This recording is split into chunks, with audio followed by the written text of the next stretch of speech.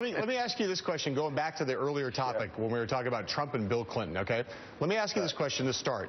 In 2008, when Hillary Clinton ran for the Democratic nomination and barely lost to Barack Obama, was Bill Clinton a net liability or a net asset to his wife? I, I, you know, I, I think you could look at it one or two ways. I think this time he's going to be a, a, net liability. I think if there's anything, he's more popular. I think he's sort of empty. He's going to be a good surrogate. But it's her campaign. You got to understand that. He is a surrogate. He's the best surrogate there is. He's going to draw a lot of big James, crowds. you said James, you said net liability, but you meant net asset, I assume, Dr. Freud, right? I, is that what I said? You did. Oh, I net, I meant net you. He, was, he told the truth. I, he told I, the I truth. think it does it. You know, 2008 was one cycle. She came very, very close.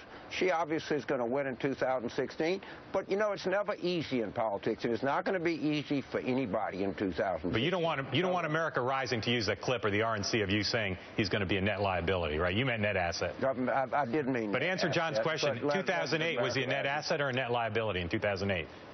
I think it was mixed, but more on the asset side. Mary, let me ask you this question, okay? I thought the James, I, that was that was a semi-honest answer from James just now. No, you, it was well, Freudian. You know, you know sometimes a cigar is just a cigar. Right. You, you think you think she's you think that he's going to be that he will be a liability to her in this campaign? That sounds like what you're saying. Is that right? Do I think Mary, that? No, Mary. I, Mary. Oh. No, yes, for all the reasons. It's her campaign. For the things